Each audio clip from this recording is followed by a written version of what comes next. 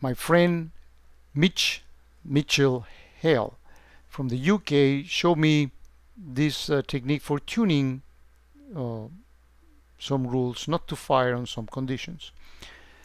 We're going to learn some things about building blocks and some tricks to do that. But the task at hand at hand here is we have this rule that is actually firing.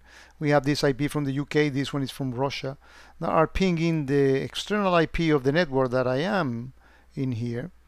But we'll see why we don't want, we don't consider this event big enough for it to fire an offense. So we're going to modify the rule. But first, let's actually open first of these offenses and take a look at those flows. And you'll see me pausing the video uh, in order to avoid revealing the IP addresses of the network that I am. So here are all those flows and we can see that this IP from this port, actually we can see part of the port here, from the same port, is actually testing whether these ports in my network on that particular IP are open. But none of them are.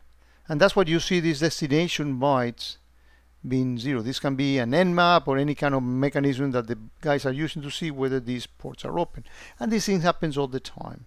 And we, we have, I've seen IPs in, here in this network from Iran, from Russia, from China, from India, from other countries, testing and see what the heck is open for them to see if they want to explo exploit it later. So that's why we are not worried about this one. So what we want to do is modify that rule and say, well, if the destination bytes are zero, don't fire. Let's actually go back to that particular offense and display the rule to understand the logic and how we're going to be modifying it. So let's look at this uh, together. So what we see First is that that's the name of the rule. Remember that because we're going to be modifying it later. But the rules start by saying, well, if this happens within my DMZ, and this you define this in the network hierarchy, and the traffic comes from the outside in or remote to remote. I did a short video that explained why remote to remote is important in here. But basically is if you've forgotten to include one of the IPs on the network topology. But nevertheless, the next, the other condition calls two building blocks look for any recon activity or any suspicious activity and this is the timing of it. Think of building blocks as function call in standard programming. When you when you invoke a function in any language it's because you don't want to put in your main program all the logic. You want to create a separate function that you call from the main program that will execute all that logic. And should you want to improve that function later well you modify the function. You don't touch the main program. Same concept in here so these two building blocks has a bunch of logic in there on, on their own, and they are going to be called by their, this rule when it's actually evaluating every one of the test conditions. So if this one is true, this one is true, then these building blocks are actually invoked. So what we want to do is introduce a, an, an, an, additional condition here. Say, well, when the destination bytes are zero, don't don't fire, right? Put one of those and not condition. You know, when you click here, the and, and, and make it a not. But the problem that we have is that this, you know that when you create rules, you have rules that are fire on events, rules that fire on flows, and rules that fire on both.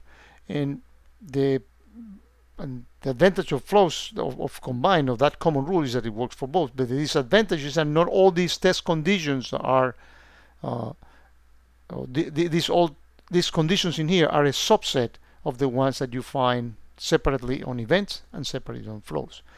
And how does that shows up? Well, if I try to find for a condition that look for bytes or package, packets, if I type here bytes, there's no condition for that. Why? Well, because this is a common rule. So what we're going to be doing is creating a building block. Think of it as a function that we're going to be uh, invoking, uh, but it will be uh, on flows. So it, it will have these byte and packets conditions in there. So let's actually go into the rules and create that building block. So we go here under action. I'm gonna gonna create a new flow rule. You will see that it's gonna be a building block, but you'll see why uh, we start like this. And notice that in here, because this is on flows, if I, if I type bytes here, I should find that, that test condition. And we can actually say, and when the, not source byte, but destination byte, remember that, is not even greater, uh, it's equal to zero. Right?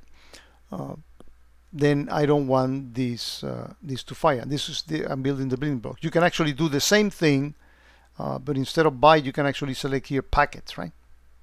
No, no difference. But you may actually want to uh, start this building block with some context because you don't want this to be evaluated each and every time. So let's actually look for the context. And put and the context let me actually bring that one up by clicking in here. And the context is uh, remote to local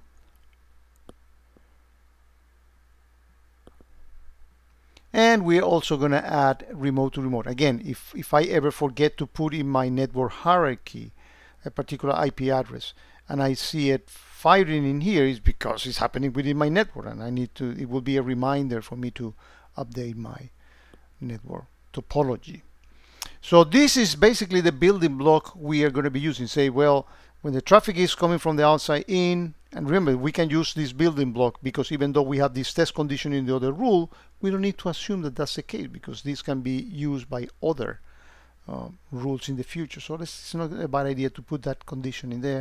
It says when, when the destination bytes are zero, uh, we, we don't want whoever invokes this building block to actually fire.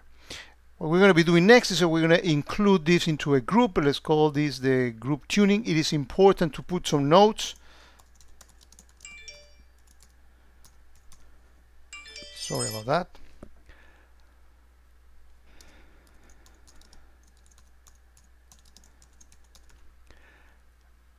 And uh, whatever is the appropriate time frame, but even though it's, it's you get the creation and modification time, so you don't have to put those timestamps there. But it's important to put enough information so whoever comes back after that can see this and remember that the the use case manager app can even read the, the notes, so you can even search a particular rule or building block by those comments. So now, instead of clicking finish, which by the way we cannot do, because even when you do, he says, well, you haven't put a name because we are not going to create a rule. We're going to actually export these as a building block. So we're going to click here, export as building block, and we're going to give it a name. And that's the name that we're going to be doing. We're tuning this, and this is harmless scanning. And we're going to click here, save. Now our building block is actually created, so we can actually exit here. And we have our building block ready to be used. So it is safe to cancel out of here because we, we got what we actually wanted. In fact, if I select here building blocks and I I'm gonna uh, sort them by creation date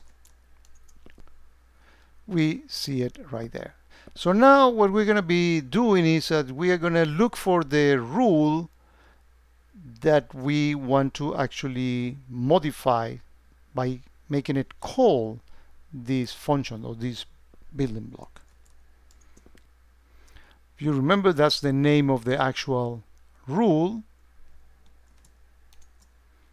We click on it and we are going to add the calling to that building block. And the way we look for the condition that we call it is, is we type here rule, then we take that that one in here and it's not going to be a rule but it's going to be a building block and the name of the building block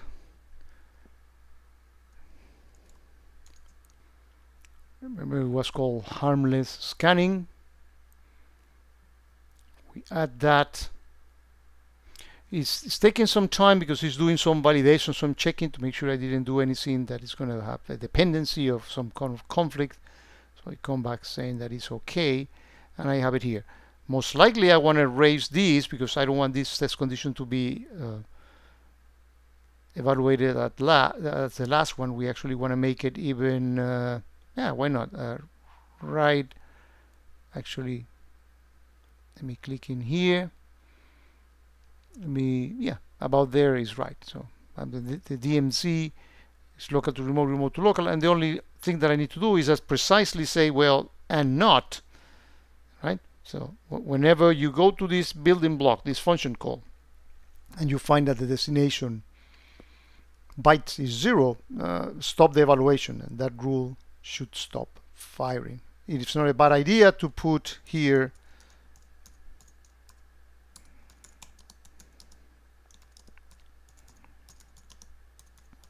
whatever makes uh, sense in your environment for documentation. Actually, I thought I was typing.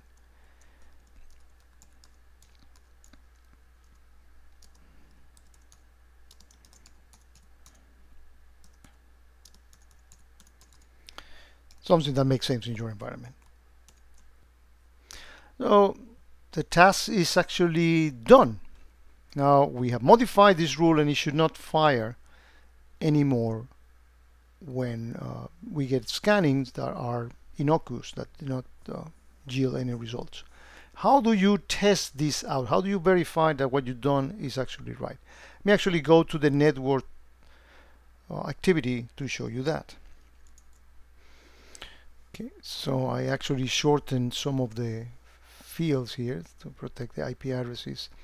Uh, the condition that you will use will be rule when the custom rules equals and then I can select the group. And remember that the group that we had was uh, user tuning right? There's only one there so it automatically puts it there. Yes say add that particular filter right and what we do is that we go back in time let's say you know last uh, five minutes or so and we actually see some data. I'm going to open one of these. So this reveals, notice that the destination bytes are zero. So this reveals that there are other even other IPs actually poking on my network. We can even see some of the places where these things are actually happening. So let's let's open one of these, the, the, the first of these events.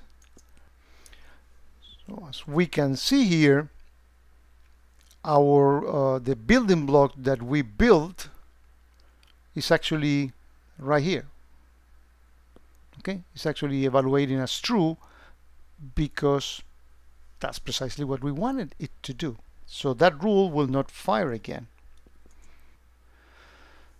So if we refresh the offenses screen, we see that uh, that the last time that anything contributed to this offense for firing was 25 minutes ago. And we even saw some events on the scanning happening as we were doing this. So it's kind of nice that we can see that those events came, but those were not added to this particular uh, offense because now the logic prevent that from happening. I hope that this has helped you learn a few things about building blocks and how to tune, modify rules and getting to know a little bit more about how QRadar works. And thanks very much to, to Mitch Hale for providing this information.